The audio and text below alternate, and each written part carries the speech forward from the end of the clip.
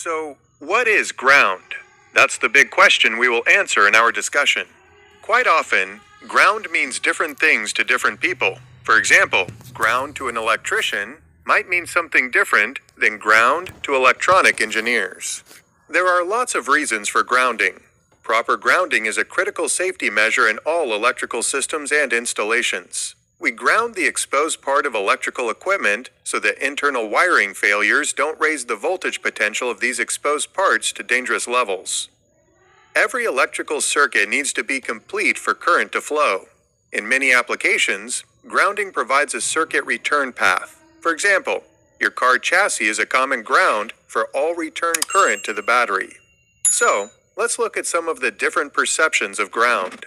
It's probably safe to say that earth and earth ground are the same things. Earth ground is the reference point in an electrical circuit that is a direct and physical connection to, well, the earth. Earth ground is the ground that you walk on.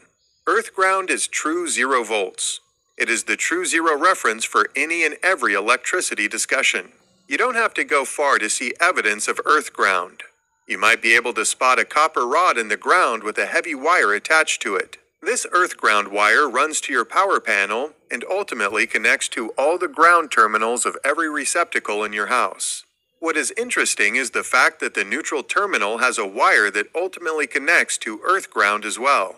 Notice that we've used an electrical symbol for earth ground. This symbol is probably the most misused in electrical schematics.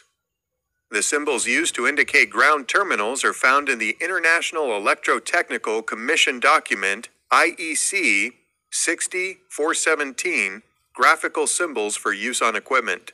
Symbol 5017 is the symbol for earth ground. As we said earlier, every electrical circuit needs to be complete for current to flow. In many applications, the common ground becomes the return path. For example, your car chassis is a common ground for the return current to the battery's negative terminal. Sometimes you'll see the earth ground symbol used incorrectly on electronic schematics. The intention is to symbolize a common ground, and it may not be connected to earth ground. Here's a typical example of a small part of a large electronic circuit housed in a metal chassis. There are four ground symbols that may or may not be connected to earth ground, but they are intended to indicate a common ground point. We do know that if we measure the voltage from point A to any of these common ground points, we will measure plus 15 volts. Ideally, the circuit would be wired like this, with all return paths to the power supply connected at one point. Unfortunately, this is usually not practical. If points 1 through 4 are not connected to earth ground, but are connected to a common ground, it would be more appropriate to use the symbol IEC 6417 5020. This symbol suggests the points are connected to a frame or chassis terminal. This brings up an interesting question. Are all the components at the common ground potential connected at one point on the frame or chassis, or are they connected to the chassis at multiple locations? Unfortunately, the schematic does not provide that answer. The schematic does not provide any clue as to physical connections. Industrial schematic drawings will indicate ground points and often provide more detail, but physical connection points are still a mystery. In this example of power distribution in a control cabinet, there are several ground symbols. Electrically, this means that all of these points are supposedly at the same voltage potential of 0 volts. From these drawings, we can determine where these grounds are connected physically in the control cabinet. This brings us to a term called ground loops. A ground loop is an unwanted electrical current path that can cause havoc in equipment or process control systems by introducing unwanted electrical noise. These undesired ground loops are created when two supposedly connected points are not at the same electrical potential. That's when Ohm's law takes over and creates an electrical current flow between these two points. In our example, ground loops can be avoided if all three devices are grounded together at one point. This type of grounded is referred to as star point grounding.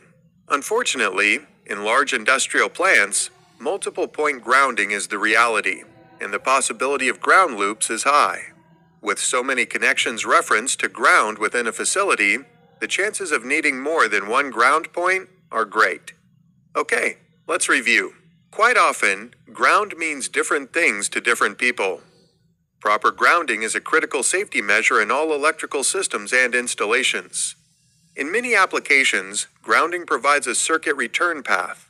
Earth ground is true zero volts. It is the true zero reference for any and every electricity discussion.